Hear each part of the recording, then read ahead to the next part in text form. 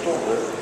Uh, maar dit bleek wel heel speciaal te zijn. Want normaal met een gewone 3D-printer kun je geen bewegende onderdelen printen.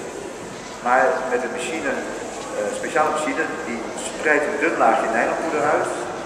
En dan komt er een laser en die smelt sommige stukjes aan elkaar in een gaat er weer een dun laagje nylonpoeder overheen.